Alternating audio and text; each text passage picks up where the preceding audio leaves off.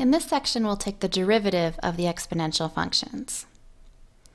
So our regular exponential function is e to the x, and its first derivative is e to the x. This one's really simple to remember. Its second derivative is also e to the x. So that's our rule for taking the first derivative of the exponential function.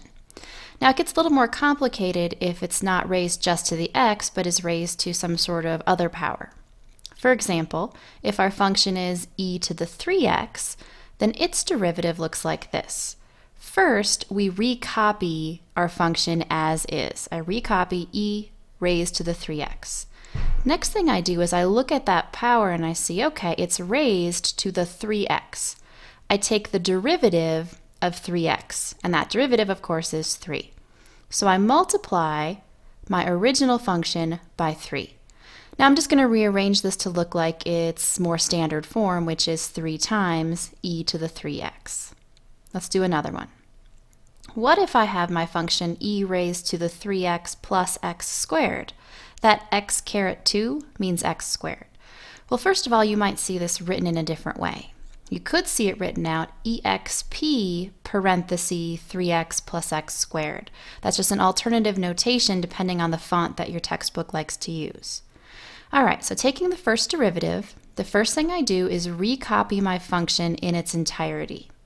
Then I look at what was in that exponent and I take its derivative. So the derivative of 3x plus x squared is 3 plus 2x. So I take that and I multiply it by my original function. Now sometimes we rearrange this to be in our more standard form and have 3 plus 2x in parentheses times e raised to the 3x plus x squared. Let's do another one. Maybe our function is y equals e to the 2.5x. Taking its first derivative, I recopy the function in its entirety, then I look at the function that's up in the exponent 2.5 times x. I take its derivative, which is 2.5, and I multiply that by my original expression. Again, rearranging if I like. Here's another expression, p equals 800 e to the negative 1.4 q. Taking its derivative, I recopy it in its entirety, 800 times e to the negative 1.4 q. Now I need to take the derivative of the negative 1.4 q, which is 1.4, and I multiply that on my original expression.